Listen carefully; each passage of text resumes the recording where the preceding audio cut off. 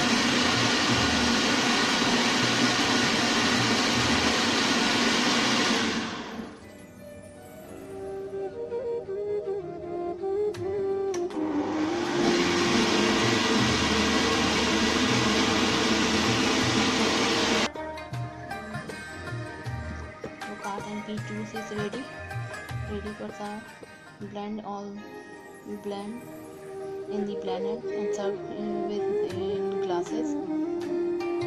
Share my recipes with your family and friends. And don't forget to subscribe my channel. Thanks for watching